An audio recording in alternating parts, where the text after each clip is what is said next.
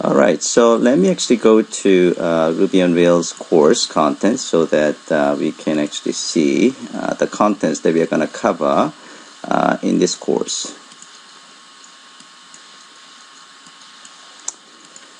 So the number 12, Ruby on Rails.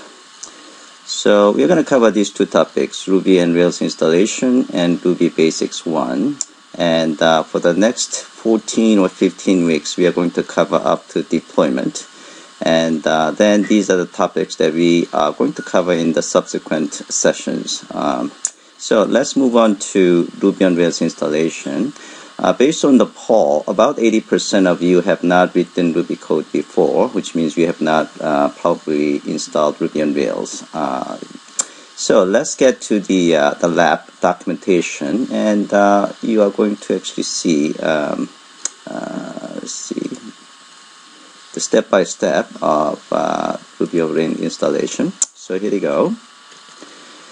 So first of all, if you are running Windows or a Mac, the easiest way to install Ruby and Rails uh, is actually installing Rails installer. So this is from EngineYard.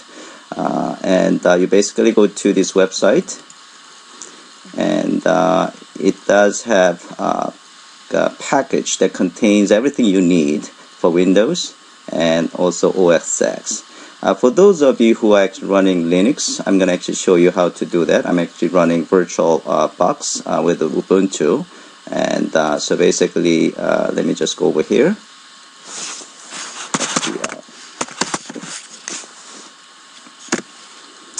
Okay, so basically all you have to do is just running this code. sudo apt dash get install ruby 1.9.1 is basically installing uh, ruby 1.9.1 and apt get is the uh, uh, linux uh, package uh, manager. And uh, so it's actually ready to install so you can just type ruby minus version and ruby help. Okay so this is the linux version of it and for those who have windows and os x this is the easiest way to install it okay? All right so let's actually get back to so that's what you do. And uh, yeah so this is actually documentation on Linux. And you can just type Ruby on uh, Ruby version and Ruby help and uh, you should see uh, these uh, responses uh, now, installation of documentation. So Ruby has what is called the uh, uh, Ruby Interactive RI command, which lets you see documentation of Ruby class. So if you want to see the documentation of symbol, for example, let me actually go this one. Uh, you can say RI array. So I'm actually seeing the array documentation, RI symbol class. So I'm seeing the symbol class documentation. Okay, so in order to do that, you have to actually install the uh, all doc data. So you want to install this and this. Okay, so either one is actually fine depending on your version, but you can install both. Okay, so once you've done that, then you should be able to see the the, uh, the documentation of Ruby classes. Okay, so this is what I just did. And in order to find out what documentation, so each, uh, let's say, uh, module uh, is to have its own documentation installed. So if you want to actually see which one has been installed, you can just type RI and list all doctors like this. Then you should be able to see uh, what has been installed in terms of documentation. So for now, I have installed the uh, some Rails active pack and active record and things like that, and also RSpec. Okay. Okay, moving forward. Uh, now, if you have installed the Rails installer on Windows and Mac, you should have Rails installed as well. So you should actually type Rails version and Rails help like this. And uh, then it shows the version of Rails and Rails minus help. And uh, give you a help screen. Okay, so just check whether those things are working as well. And uh, so um, Exercise 2 in this case is actually building Hello Rails application. So you can just uh, install, you can just create the Rails application like this. uh, if it actually comes back with these responses, and then that means the Rails installer has been uh, completely installed, including Rails. Okay? So since we're going to actually cover Rails in detail later on, I'm going to just move forward. Okay. Right, so this is actually how you can actually build a very simple Hello World application, and then you can go to uh, uh, local 3000, and then you should see the screen that means the Rails has been uh, installed correctly. And uh, in this course, I recommend you to use Sublime Text 2 as your uh, ID. I'm not actually the editor of your choice. You can use, in fact, any um, editor of your choice or any IDE of your choice, but I found Sublime Text is extremely uh, powerful. Uh, tool. In fact, many Rails Ruby developers are using Sublime Text to actually many, let's say, the Java, uh, the uh, JavaScript developers and PHP developers and Python developers, they all actually use Sublime Text too. So you can download Sublime Text 2 from this link. Uh, it's actually a commercial product. Uh, I think the, uh, the, it is about fifty dollars. Uh, it's, it's actually definitely worth the money. but you can use for free, you know, the without any limitation. It's gonna actually pop up once in a while that you have to pay. Another way that you can actually use it for free is you can go to the development uh, version, and again, you can actually use this one for free. Okay. Um, so, um, and uh, then you are going to actually install what is called the package control package.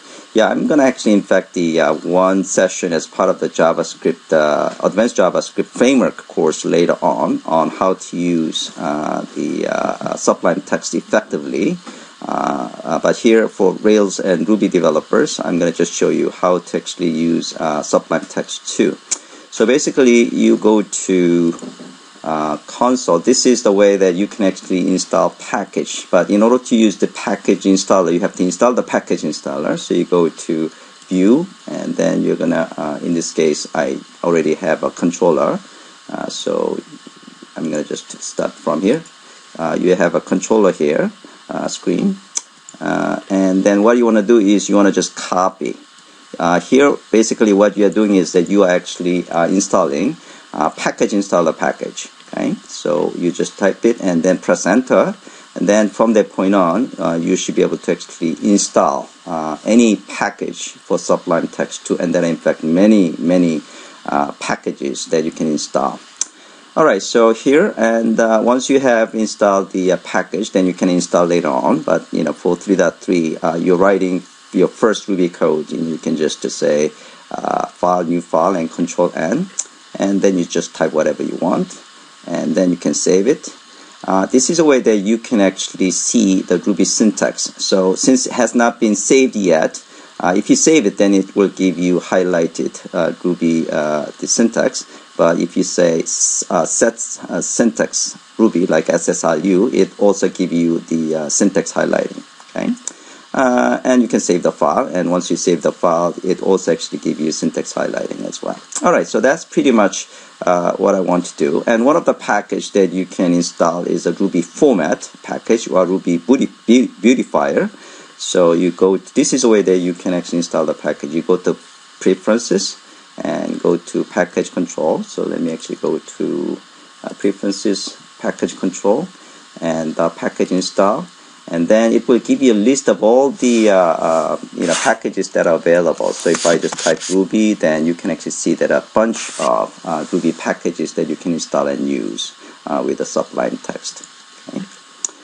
All right, so that is pretty much what I have in mind in terms of installation. So let's actually go to the first uh, Ruby topics, which is um, uh, Ruby Basics 1. So let me see, I have, okay, I have not actually uh, uh have PDF file.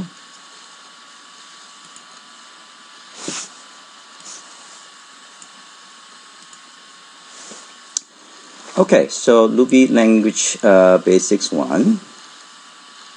Uh, by the way, uh, because we do not have enough time, I'm going to take the questions after uh, the session. Okay, so you can ask the questions through questions box uh, in GoToMeeting, uh, GoToWebinar, or you can send the questions to uh, class alias as I suggested. Okay.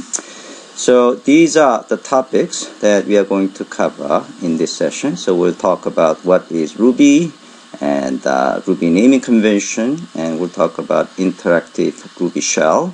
And uh, you have seen RI, Ruby Interactive. Uh, that's basically documentation. And we'll talk about the Ruby classes and objects and the Ruby types, especially string, hash, and symbol. Those are the most important Ruby types and uh, then Ruby class inheritance and we'll see how you can create Ruby object and then we'll talk about how to create and invoke basic Ruby method. Okay, so what is Ruby? So this is from rubylang.org website. Ruby is dynamic open source programming language with a focus on simplicity. So simplicity and productivity, these are two main objectives of objectives of Ruby language.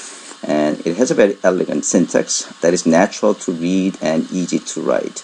Okay? So when you see the Ruby and Rails code, you don't actually see comments that much because uh, programs itself should actually give you a clear indication in terms of what it's trying to achieve.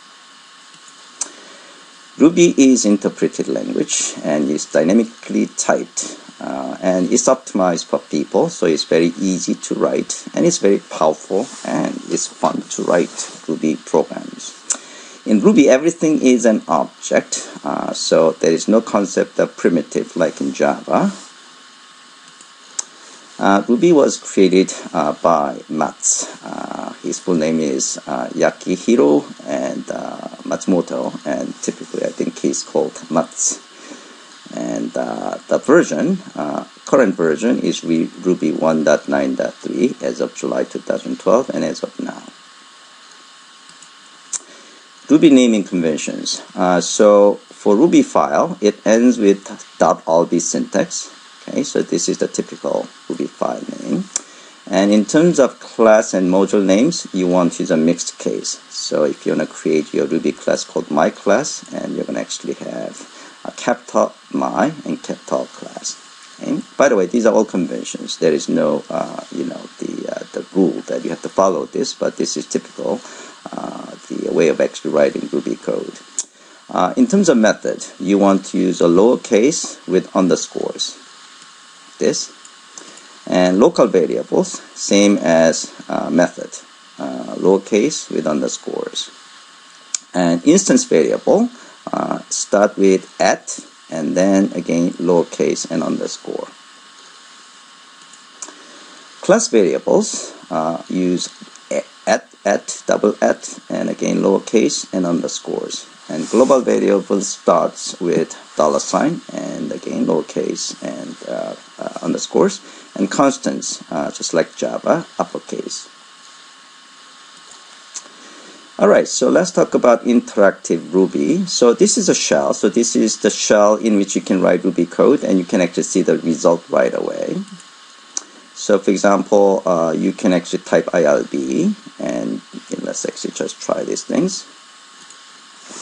So IRB and uh, here I can say 2.2 and um, 5 times 4 whatever and uh, and see okay, something like this and you can exit out and uh, you can also actually have uh, simple uh, prompt.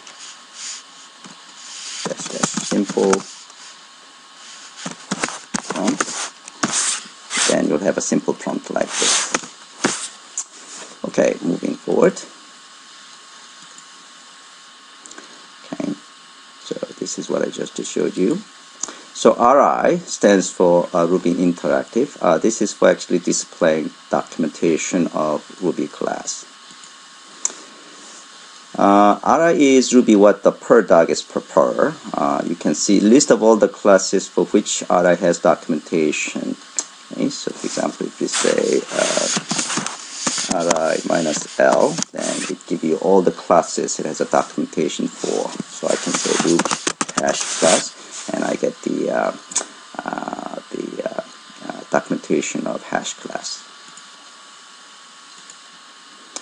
Alright, so I'm going to actually use the lab documentation as well. So if I have shown already, then I'm going to actually move forward.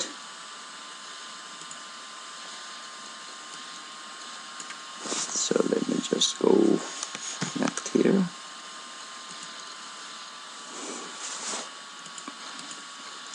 So I just showed this one uh, you can write your Ruby code as a file so you can use any any editor of your choice. In this case I am going to I created hello.rb file that contains these two statements.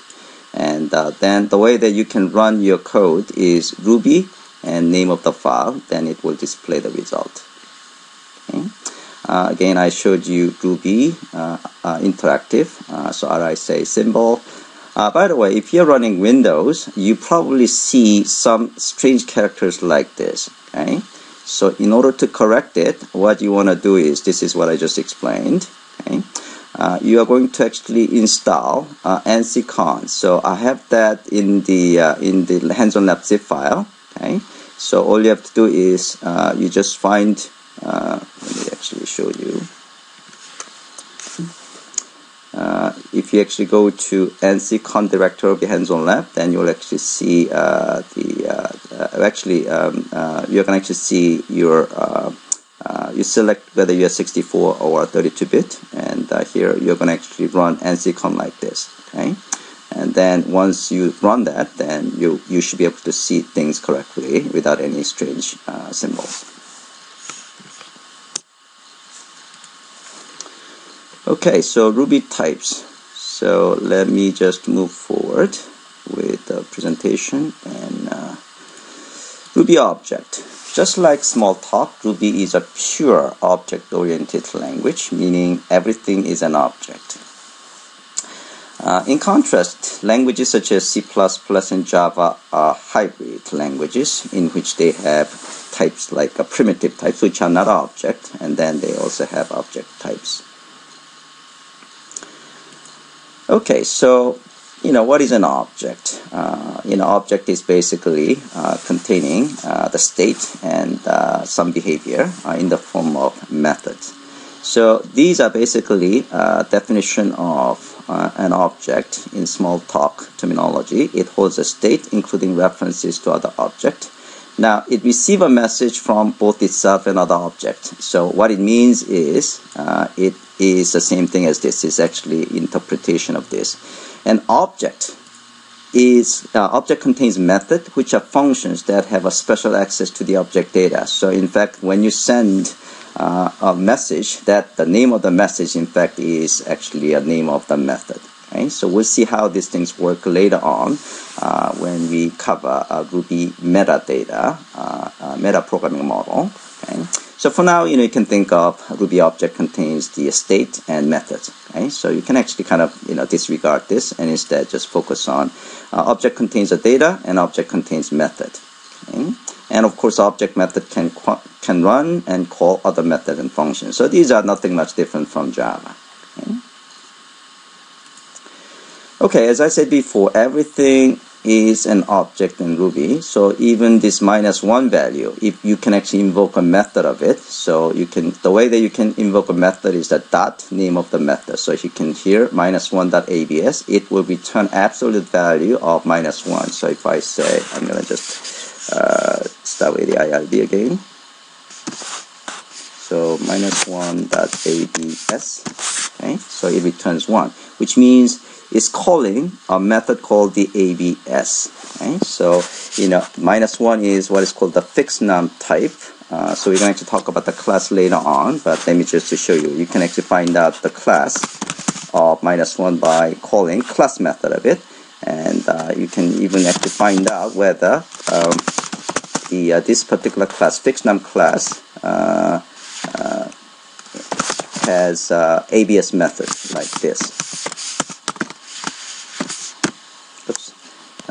Class public define oh I, I missed the question mark. Okay. Public defined method ABS okay so I'm going to try this one you know the uh, using the uh, lab documentation. Maybe my syntax is wrong a little bit. Okay. So let me just move ahead uh, even the nil, uh, you can actually find out all the methods that are available on nil object. So, you know, I can find out, for example, nil uh, method. Okay, these are all the methods of the nil, minus 1, and I can also say minus, uh, minus 1 plus method, something like this. So this is where I can in fact find out whether there is in fact the uh, uh, ABS method and things like that. Uh, in fact, the class itself is an object. Uh, so in a sense, Java is the same thing. Java, when you have a class, you know, it does in fact create a class object uh, inside the JVM. Uh, so, so the way that you can create the uh, class, uh, with the way you can create an object is using that new. So it's basically invoking a new class method of song class. So this is a song class, and then you are invoking new method. So everything is an object, and those objects, in fact, have a set of methods. Uh, later on, we're going to talk about the code blocks. Uh, the code blocks, in fact, objects, and this enables, in fact, functional programming in uh, Ruby. so again, we'll talk about this one in detail and Ruby uh, blocks uh, presentation hands-on that because uh, coding blocks is a very, very important concept in Ruby. So variables and object. So when you actually create the string object and assign it to a variable, uh, it is basically pointing to that memory location that contains the string content. Okay, so again, this is not that much different from Java.